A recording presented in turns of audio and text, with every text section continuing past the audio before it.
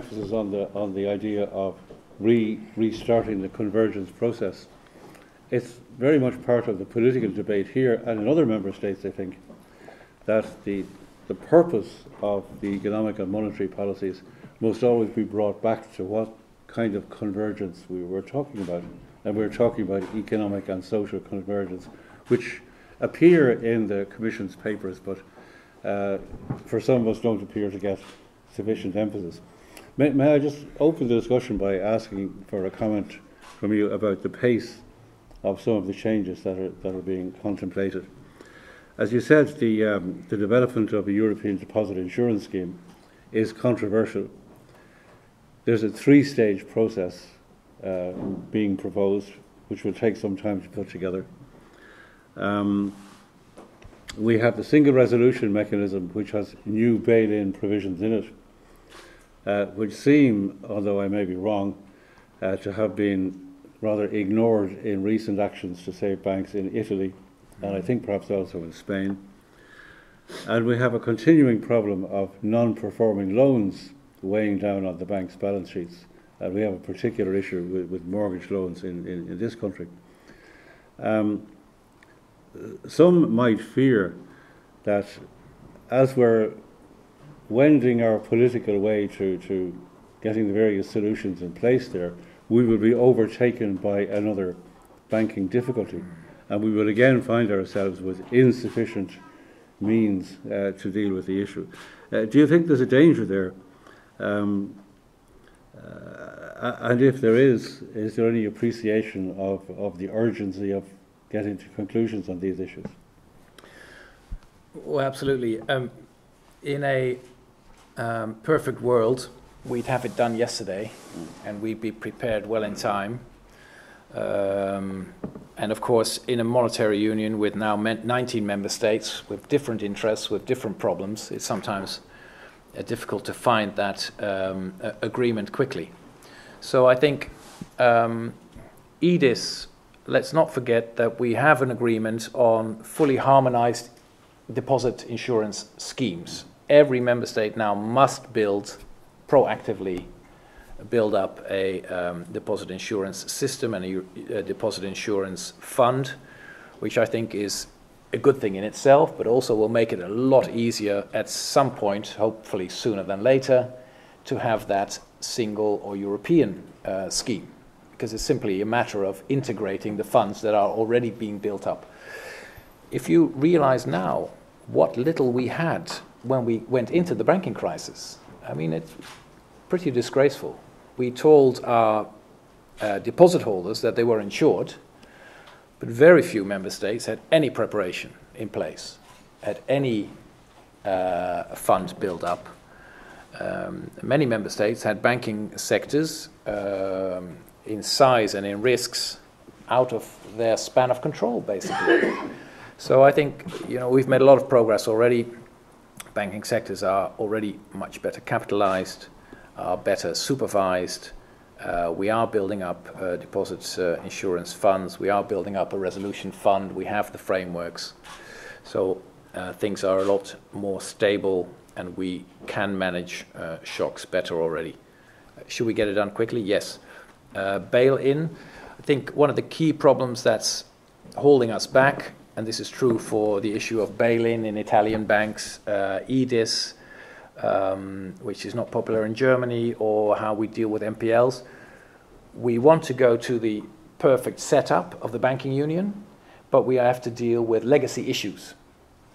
Um, if there were no legacy issues in our banks, not NPL problems in different countries, um, then I think it would be very easy to, to today take that step to have that EDIS, that European common insurance system. Uh, so that's why I keep pushing let's not wait for it, uh, but let's do things in parallel. While we are all trying to deal with NPLs and progress is being made, um, uh, we should gradually enter into this European deposit insurance scheme. We've designed it, I mean, it was very tech technical or technocratic, if you want. We've designed the same kind of mechanism in the Single Resolution Fund where all of us are, or all of the banks, I should say, it's luckily not public money, it's bank money. All of the banks are contributing to building up this resolution fund. And gradually over time, we are mutualizing the debt, uh, sorry, the risks. So if any problem occurs, in, uh, I believe in eight years' time, you can use the money of all of the fund and not just the national contributions. The same kind of approach uh, and how it will be designed exactly, let's get into it. Um, the same kind of approach we should take, we could take in uh, the deposit insurance uh, scheme. So my, my, my, key issue would be let's not stop us from taking steps to that complete banking union because we're still struggling with legacy issues. We have to go through them in parallel. Oh, thank you. Now we're open to the floor. The interest rate at the moment is zero. Never has there been a better time for governments to borrow for investment. And at the same time, the, the current construction within the Eurozone is such that governments are literally prohibited from making a set, from major investments that will help to create sustainable growth in the future. But I think at a time when alternative energy, etc., the environment, all these things are so necessary. And let's face it, there are countries within the Eurozone in a very good position to invest. And I think we're missing a historic opportunity because I'm very depressed when you talk about the near term prospects because there's so much money available for investment, at, offering a far higher return than 0%. Thank you very much. Thanks, Roland. So, um, first of all, the points that I, I hear this a lot that um, the Eurozone countries did so much worse than the non Euros. So, it's interesting to look at some of these examples. Um, for example, uh, Sweden and Denmark. Um, Sweden had a major banking crisis in the 90s and sorted it out heavy handedly, nationalized all the major banks, deep restructuring, deep recapitalization, very strict uh, macroprudential policies. Uh, and yes, they went into the crisis in 2008 in a completely different position uh, than many of uh, our countries were. Was that to do with the fact that they were euro and non euro? No, they had the crisis already before we even had the euro. So, I mean, look at Sweden. The reason why the Swedes got through the crisis so much uh, better is because they sorted out their banks uh, and their policies uh, already before the crisis. Um, uh, Finland did uh, actually quite well in the crisis, uh, only had an sort of an adverse, almost asymmetrical shocks two years ago, three years ago. So in the first years, when all of us went in the slumps, Finland did fine, and that was a euro country. Uh, Ch Czechia and Slovakia. Slovakia became uh, a euro country uh, during the crisis years, has done very, very well economically. Uh, and Czechia, uh, the Czech Republic, has done a, a lot less than Slovakia, uh, neighbors, euro country, non euro. So if you realize that 90% or more of our policies and how our economies are doing is still uh, influenced by national politics and national structural elements in our uh, economies, you need to look a little deeper. I've had this debate with, uh, with Stiglitz uh, when we crossed arms in, uh, in Amsterdam. He made exactly this point. He said, just look at the non euros, it's so much better. If you zoom into it, the differences are much more distinctive than just euro and non euro. Anyway, on should we now all spend more? It very much depends on what the fiscal situation is. If your debt is at 130 percent, uh, and um, investments uh, on the private side are already low. I'm not sure that's a very good idea. I would go for really reforming your economies, reforming your legal system, reforming how your competitiveness rules are, etc., making sure that, first of all, you start increasing private investments in your economy. Instead of, on top of that, let's say 130% uh, debt to GDP uh, increasing uh, your uh, spending.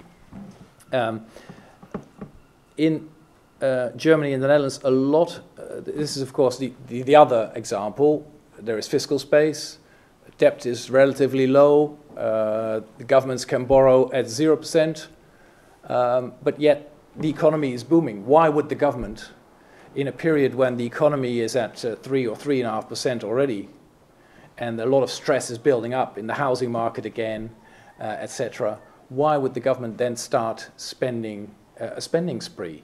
I mean, economically, in terms of uh, being counter cyclical, it doesn't uh, make sense. Uh, by the way, the investments in um, solar energy and wind energy in those countries are extremely high, and they need less and less government subsidies. So, uh, with a very small incentive, we can trigger private investments in huge wind parks in the North Sea. It doesn't require a big public spending spree. So, here again, I'd look really more specific at countries rather than saying let's start spending a lot of uh, money. Thank you. It seems to me there's a, there's a non-euro country not too far away that hasn't been doing spectacularly well either. Please.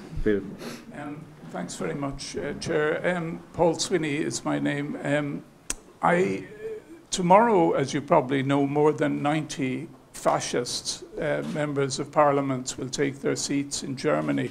And I agree a lot of progress has been made in Europe in recent years, but that kind of thing that's happening, the rise of the far right, is quite worrying. In Ireland, our anti-tax parties are on the far left. Um, we're quite unusual on, on this. They're particularly opposed to property taxes, which I think are rather good taxes. The anti-tax parties are on the far left. Yeah. yeah. Right, I'm just letting that And they've really done, they've really milked it. It's an interesting phenomenon. Yeah. But my question is, um, I'm a member of the Economic Committee of the European Trade Union Confederation, and last week we had a meeting and we had a paper put before us, uh, a technical services note to the Eurogroup, which I find and others found very disturbing.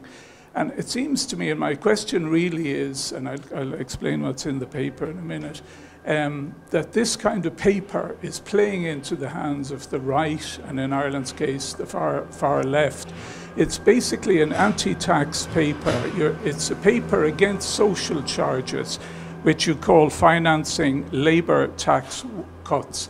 And in it, the word tax is used 17 times and appended to the word tax every time, 17 times, is the word burden. Now, I have a number of questions to ask you. Do you think that tax is a burden? Do you think that tax is theft? Do you think that tax is a charge or a payment? If it's a burden and you're a public servant, are you a burden? You know, you have to use your words very carefully, and there's a use amongst technical people to use the language of the far right um, and if you're disparaging taxes, which I am proud to pay myself and make a point of paying every penny because I believe I, am buying civilization. But the whole anti tax uh, coming from you, and you're a social democrat, that's the surprise. Now, of course, you didn't write this paper, it was addressed to you. But uh, you know the paper, I'm sure. But essentially, it's all about reducing employers' PRS. I, I, you must be aware that the labour share of national income has fallen by 10% in many European countries in recent years, and this is a move to make it fall further. Let me make a remark about the rise of the extreme right in, uh, in Europe, uh, because it's of course, extremely uh, worrying, and some people have said that the outcome of the elections in the Netherlands and France uh, has been quite moderate. I don't agree with that. Extreme right has again uh, grown in number of seats in the Dutch parliament, and they've done extremely uh, well in the presidential elections in, uh, in France. So that worry is very much alive, and I very much share that. I'm not sure that it's a, a euro uh, issue. I think the, the populism and the is just as strong and the same kind of movements is going on in the US. So um, I'm not sure that the euro crisis is a whole uh, uh, uh, explanation. I do believe that the fact that ordinary working people have not seen a wage improve, and this is true for the US and Europe, for a very, very long time is one of the uh, factors. Um, in the Netherlands, um, the let's say uh, average disposable income for working people hasn't improved since 2001. So it's been for 15, 16 years completely flat. Um, the paper you refer to is about the tax uh, uh, wedge on labor. Why is that problematic and why do I think it's problematic? I, I presume it's drawn up by the Commission, but we asked for it. Because um, um, the factor labor in our economy is being taxed so heavily that it's become very interesting for, of course, employers and in the economy to have as little labor as possible. Uh, so economically, I think it will make a lot of sense to shift that, uh, that tax pressure away from labor and to, for example, to uh, consumption or to uh, um, uh, green taxes or to um, uh, capital taxes. Um, so that's what the, um, uh, the paper is about. Uh, I, I'm also proud to pay tax. I very much agree. Um, and I think we should look carefully at who's actually paying it um, and how we can make sure that the fact uh, labor is not, on the one hand, not improving its wages, and on the other hand, is being taxed very heavily uh, and increasingly so over the crisis years. So there is the two sides. I've been pushing in my country uh, uh, but I don't have direct influence on it, uh, in wage, on wage increases. I think there is a lot of space to improve wages in, in the Netherlands, and the same is true in Germany. Uh, and I've been pushing and working on reducing the tax wedge on um, uh, labor's income. I simply want people to have more money in their pay pocket. Uh, how do you call it? Pay package. Pay package. Um, uh, and that doesn't mean that we have to go along with the sort of the anti-tax. By the way, I'm not sure that the extreme right or the populist right uh, are uh, anti-tax. I'm maybe in some countries, but certainly not everywhere. It strikes me that the populist right uh, are also very much in favor of uh, the welfare state uh, and early retirement ages and welfare schemes. Uh, if you look at um, the Populist Party in uh, the Scandinavian countries and in Denmark, one of their key agenda points is hands off of the social welfare state. So the, the, the image that you describe of the extreme right being anti-tax and anti-government, etc., is certainly for the some of the extreme right populist parties uh, not not quite correct. Uh, David Cron. In the uh, um, the Commission's uh, paper on fiscal policy that was produced with the, the last year's or the end of year's um, uh, annual growth survey, it was critical of the lack of a fiscal stance at the euro area level and that it was producing suboptimal uh, governance because within in a time of downturn it tended to be pro-cyclical uh, making recovery in some member states even more difficult, and that um, uh, what was needed was a repartition, or that's what that was their word, but I think that means a division of the fiscal effort into individual member states. Um, do you do you go along with that at all? And I don't, I'm not quite sure how it would be done either. So this, uh, um, the fiscal stance for the Eurozone as a whole has been debated ever since Maastricht. And already then, um, uh, some people said we shouldn't just have fiscal rules for member states, but we should look at the whole uh, integrated fiscal stance. Uh, it was never decided that way, so the whole rule book, so to speak, has been designed on the fiscal uh, efforts of member states. And the complex situation is now that in the member states that uh, are economically doing well, uh, there there is fiscal space. So there, economically, there is not much, not many arguments for uh, Germany to start spending heavily, even though you could argue that the infrastructure in Germany or the educational system in Germany really could require an investment. Um, um, but in other countries where there is very little fiscal space and the rules would require them to take a, a contractionary sort of approach in their budget. Uh, in those countries, there's a huge demand for investments, also public investments. So that we, ha we haven't solved it yet. Uh, and every time people say, let's have a fiscal stance for the Eurozone, I'm, I, the problem is how to then implement it. So the Commission now says, over the whole of the Eurozone, uh, a neutral fiscal stance would be appropriate, meaning not contractionary but not expansionary it doesn't really mean anything because in some countries there really would be, in economic terms, need for some public investments, and in other countries, economically, not really. Uh, I don't have the answer to it. I think it's it's become a sort of a symbolic debate. Uh, some would argue that the real answer is having a fiscal capacity, a budget at a European level, in which you can then uh, uh level it out between these countries. Um, that would, of course, only work if it's really sizable. Um, so having a small fiscal capacity, a small eurozone budget, I don't think will help us very much. I mean, it can be for a short period of time for a few small member states you could use it, but uh, for larger member states or uh, real adverse shocks. If we want to have in the future a really sizable and effective fiscal capacity for the Eurozone, we need to discuss whether some of the major policy areas that are now in national hands, that we are prepared to give away that sovereignty. What do national governments spend their money on? Welfare systems, pension systems, healthcare, and hopefully some on educational systems. So these are the big, uh, costly policy areas. So if we really want to create a Eurozone fiscal capacity of some size, you would have to give some of this up. Otherwise, I don't see how we can um, shift fiscal capacity to the Eurozone uh, level. That debate is only just starting.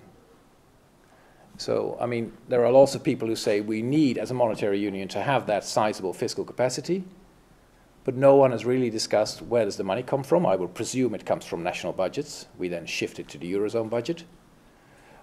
What policy area would go with it?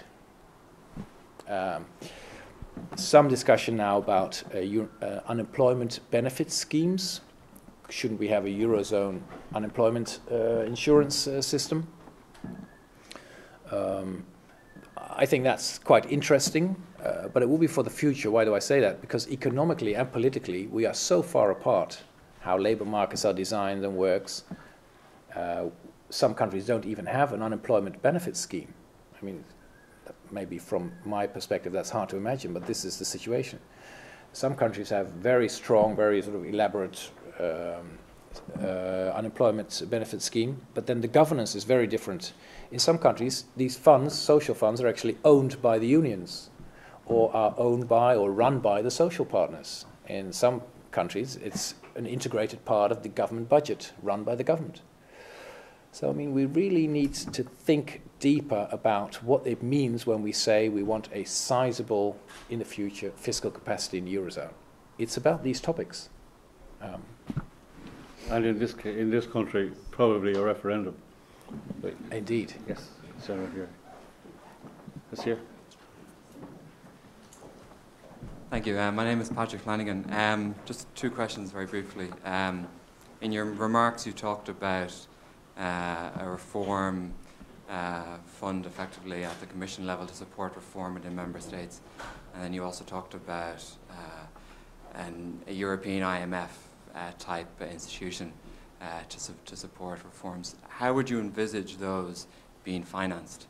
Either at an annual basis from national budgets of, of member states or by a capital infusion into some type of uh, into some type of institution. And secondly, just as you as you're hearing, as you said that you're uh, you're in you're stepping down soon as the, the Dutch finance minister. Just in that role, just just one question. Last year, um, uh, you agreed uh, the banking sector agreement with civil society organisations, uh, with major Dutch banks and the, and the Dutch government.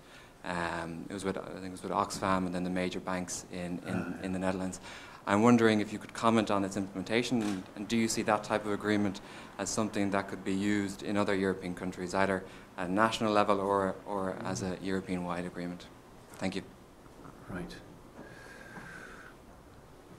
Um, on the, the, the funding uh, side, I think we're going into a very difficult debate anyway about the multi-annual uh, framework, uh, the financial framework, which is about the seven-year period of the EU budget it's going to be usually complex anyway, so let's make it even more complex.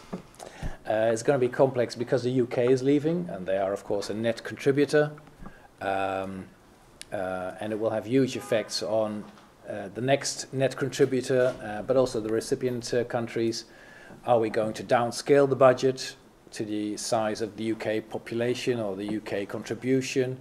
Uh, and how are we going to um, redistribute the, the costs? So that, that's one uh, element. I think another one is um, the financing of the common agricultural policy. I know this is in, in Ireland also followed very closely, but that debate's also uh, going on. Um, and here the position of countries is changing. Um, should that remain fully communitarian or should it be renationalized to some extent? I think that could also be part of that uh, discussion. There is a discussion which I'm very interested in is about um, European public goods. What is it that the EU ha actually has an added value? Uh, what policy areas? And obviously, a lot of attention goes to migration, border control, uh, security, anti terrorism. And, um, you know, I'm, I'm not a federalist in the sense that I think everything should be done at a European level. And as long as it's done at the European level, it's the best answer to whatever the problem is. I don't, I don't agree with that. But there are some very strong cases where doing it jointly at an EU level uh, would be much better. And uh, border control, I think, is very obvious. Uh, most of our internal borders uh, are gone in Schengen. Um, um, and we didn't organize uh, the outside border control. So let's do that, but it will require really development of institutions and budget, etc. Um, uh, the same would go for uh, cooperation on defense uh, issues. Um, so I think creating space inside the EU budget for these EU public goods, security, migration, border control, will also require quite a puzzle, uh, perhaps even extending the budget. But that's easy for me to say as I'm leaving my job as finance minister. If I would be responsible the next five years, I would not be so eager. But um, there is a strong case here. And then on top of that, we want to create a new instrument. I think we should look at the structural funds as we know them. Not to take away the money, but to say we want to connect these transfers from the structural funds to a reform program or reform efforts that countries are, are going through. How can we uh, make them work in parallel? Um, so that's the kind of funding I would be uh, looking at. But it's going to be a hugely difficult debate about the EU budget. Uh, the second point, uh, question was about the um, agreement which we have in the Netherlands with the, the banks. This is about um, sustainability, human rights, and the banks have agreed that they will respect all international standards regarding human rights, that they will um, uh, uh, take a huge responsibility for sustainability, the climate issue. Um, it's still in development. I mean, if you want to know, is it, is it a huge success? I think in itself that the banks, with the government and the NGOs, came to such an agreement uh, was already a huge success. Uh, the next step will be transparency. Uh, they need to become much more transparent on where do they actually invest their money, uh, how do they, um, uh, in practice, fulfill these commitments. So I'm, I'm positive, I'm optimistic. Ask me again in five years' time, and I'll tell you whether it's been a huge success. We are actually trying to do that with different sectors of the economy. Uh, to it's a very sort of Dutch way. Um, I don't know whether you know this world. We, we, we like to call it the polder model. Um, the Netherlands, um, most part of the Netherlands is of course below sea level, and the only way we can keep our feet dry is by uh, having this polder model. The polder is the, the, the, low, the low land below sea level, and we have all kinds of institutions and, uh, and negotiations and talks and tables around which we sit to organize the fact that the Netherlands remains dry.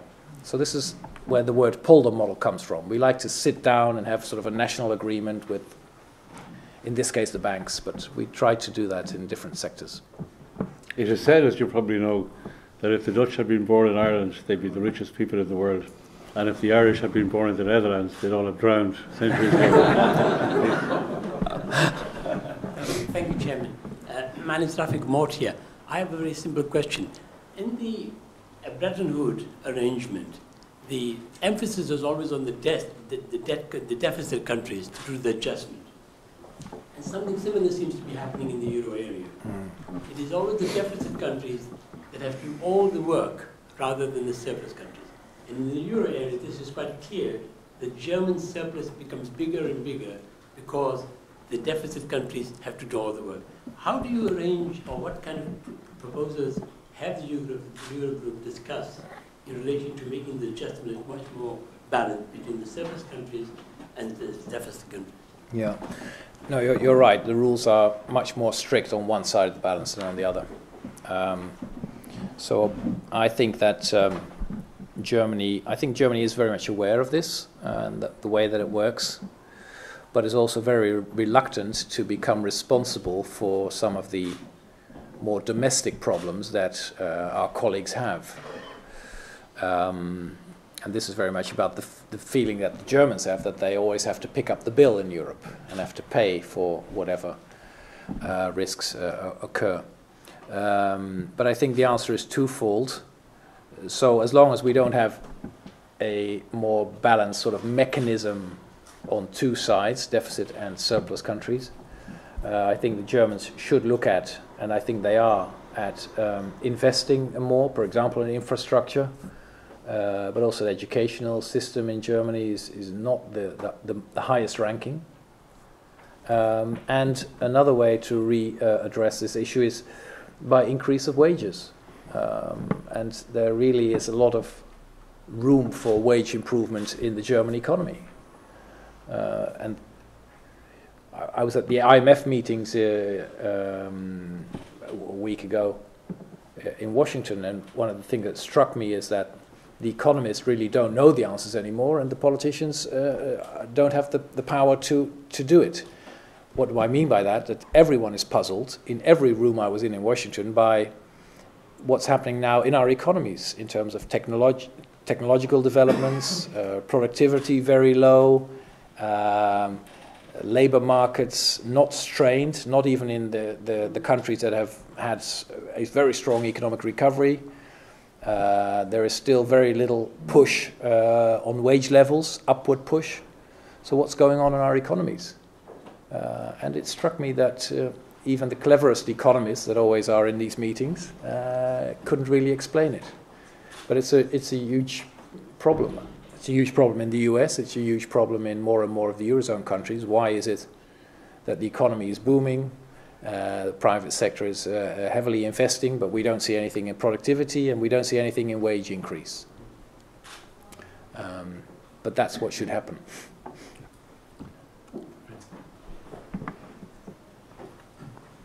Thank you. Uh, Jeremy Harrison. Um, I was very struck by a point that you made that uh, when you said, let's not be too quick to make private risks a, a public problem. And I wonder if you, you agree that there's a good case for being very cautious about making private responsibilities a public problem too. I mean, in the, in, in the affairs of the banks over recent years, it's fairly clear that as well as uh, maybe failures of regulation, there have above and beyond that been major failures of corporate governance. And if you have a situation, uh, you may not want to co comment on a particular Irish issue at the moment. But should you have a situation where, frankly, the banks have scammed their customers over quite a serious period of time, is not the first thing to do to turn around to the boards of those banks and actually to say to them, you have not exercised your corporate responsibility for ethical and responsible trading. For the period that you didn't do that, why should you be paid as directors?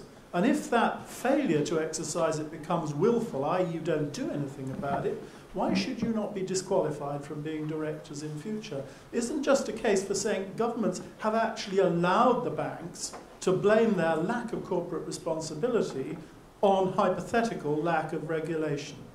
Mm. Um, I, I, agree. Uh, that doesn't mean to say that I, I don't think we need regulation, but regulation has sometimes become an excuse for those in charge of the, the banks or corporates to say, well, I've, I've stuck to the rules and regulations, so I'm fine. And that's not always the case. Uh, you can uh, give your customers a really bad and unfair deal and still be inside the law. And um, I, I, won't comment on the situation that's now all over your newspapers, but we've had exactly the same kind of examples in the Netherlands. Uh, schemes with derivatives being sold to small companies. These uh, company owners didn't have a clue how the derivatives worked, couldn't imagine how it could go wrong, and it did go wrong. Uh, and we're still sorting it out now. We've had um, uh, huge scandals with uh, inc- I'm not sure what the English word would be, uh, sort of income insurance policies in which private people would pay in monthly terms, hoping that they would build up some kind of sort of little pension fund. But the administration costs that the banks made them pay every month uh, exceeded uh, the, the return on their investment. And this happened to 7 million people in the Netherlands. 7 million. So, I mean, and we've seen it in England, we've seen it in Italy, it's happened all over the place, mis-selling. And yes, I, I've been very active in regulating. We did lots of regulating at European level and at national level. But every time it boils down to the fact if the financial sector doesn't realize that uh, how important confidence between them and their customer is and how damaging these recurring incidents, I mean, is to that confidence. If they don't see it as their responsibility, we're never going to sort it out. Uh, we will have highly dense regulation and um, thousands and thousands of people working uh, at the supervisor, uh, but um, we're never going to win that struggle. Uh, in the Netherlands, I don't know how you uh, have done it in Ireland. Um, the, the, supervisors need to check, do a, a, a, fitness check on all the responsible top people in the financial sector. So before you can become anything at board level or even the level below that, you need to be uh, uh, checked, and it's a check on um, your personal ethical behavior, uh, also whether you've paid your taxes, but also on how you've done in previous jobs in the financial sector. And if you've been in some way responsible for a scandal in your institution, you may lose your approval to work in the financial sector. And uh, this has had quite a sort of a shock effect because you can lose basically your professional uh, license. It's, it's, an unfortunate way to do it, but it has, that may have worked. Yeah, the point is frequently made that in the United States, for example, where financial institutions have been fined huge amounts of, of, of money, that it simply doesn't solve the problem because the people who caused the difficulty still stay there or they get paid a large amount of money to leave. Yeah. And the, share, the shareholders pay the, um, yes, the, yeah. the fine. Yeah. Yeah. Uh, yeah. And then Alan, Alan, uh, thanks for your, your comments. Um, the issue I'm asking about is you, you mentioned about high debted, high debted countries. Obviously, the eurozone. There's a few of them that are, but one stands out like a sore thumb, and it's been an ongoing issue, uh, i.e., Greece. How do you see Greece playing out uh, going forward?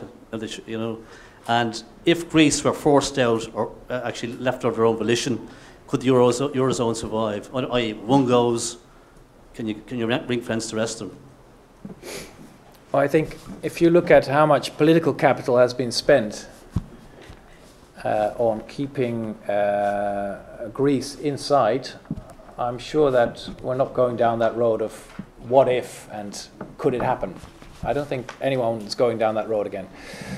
Uh, and I mean literally political capital spent. Governments have fallen in the Eurozone over Greece. And I'm not talking about the Greek government. Uh, so a lot of political capital spent uh, in the determination to keep the Eurozone intact and keeping Greece in. Um, so the situation with Greece is, of course, as I said in my speech, many of the problems that we had during the crisis were already caused in the years before, and that was certainly true for Greece um, uh, institutions uh, very weak, the whole society and the economy very politicized. Everything is, in the end, uh, decided by the politicians. And if the government changes, then it, it, works all the way down into the economy. People lose their jobs and get replaced. And so it's, it's a major effort to introduce sound governance throughout the private and public sector. Um, but it's happening, and it's, it's, it's gradually taking place. It's, it's slow, it's tough, but it is happening, and I think it's key uh, for confidence to return to Greece.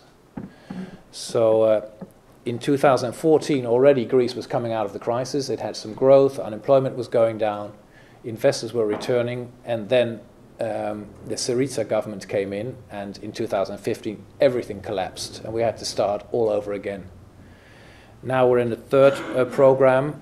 Things are back on track. So my key point is uh, and I made it when I was in Athens, is, is about stability. Uh, create stability, gradually keep on working on the reform agenda. Uh, we will help to stabilize the uh, economy. We will also help to manage the debt burden. Uh, a lot has been done there. We've basically flattened out their sort of annual debt burden, the, the amounts that they have to pay on an annual basis. We've completely flattened it out for the next 20 years. So the debt is still high, but what they have to do to service it on an annual basis is, is very manageable. And we stand ready if they do their part. We stand ready to do more if, if necessary. Um, and the program ends in 18, summer of 18, summer next year. The, the size of the program is something like 86 billion, but I don't think we'll use half of what is needed, so that's also a good sign. Uh, we'll stay well below that 86 uh, billion, um, and that also helps uh, the debt uh, issue. And at the end of the program, summer next year, we will look again at how sustainable the debt is and what need, more needs to be done. But stability is very much the key to, to get that confidence back. Thank you. And final question would be Mary Cross, who's chairing our reflection group on the future of EU 27.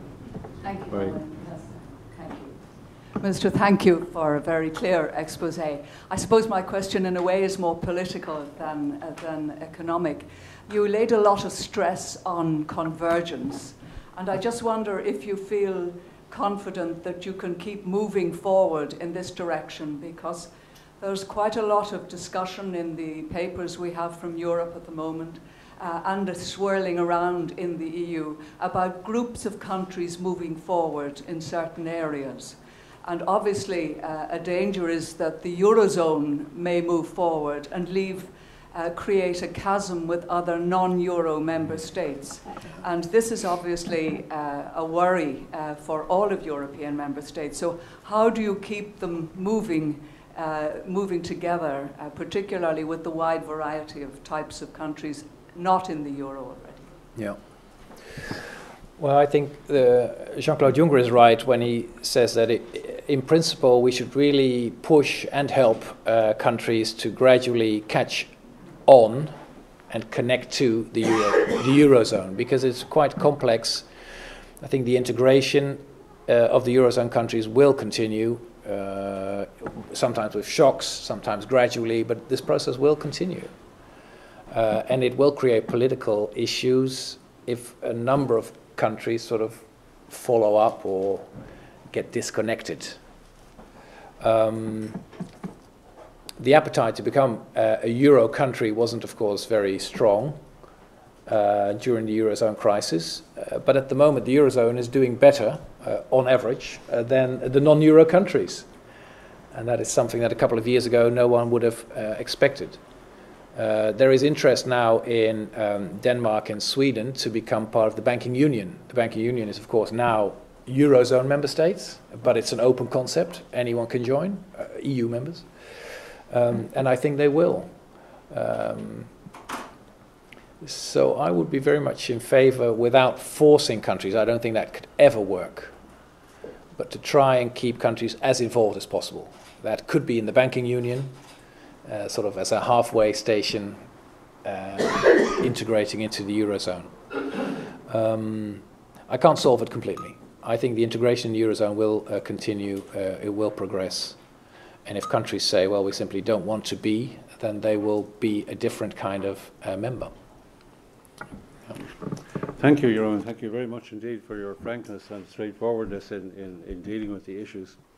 Um, I'm sure I speak for a good many people here, if not for everybody, when I say that I've been struck by your frequent references to convergence.